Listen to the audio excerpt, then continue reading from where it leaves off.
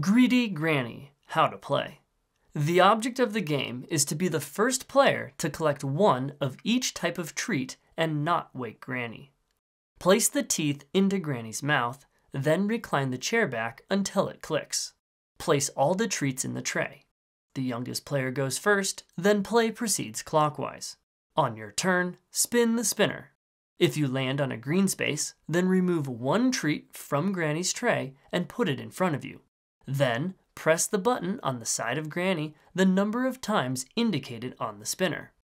If you land on a purple space, then you must put one of your treats from your pile back onto Granny's tray, then press the button the correct number of times. If you don't have any treats, then your turn is skipped instead. After you finish pressing the button, if Granny remains asleep, then your turn ends and the next player goes.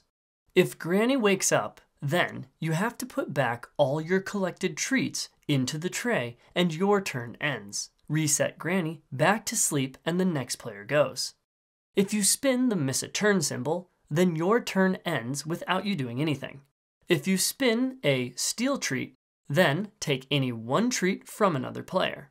If no other player has a treat, then do nothing. The first player to collect one of each type of treat is the winner.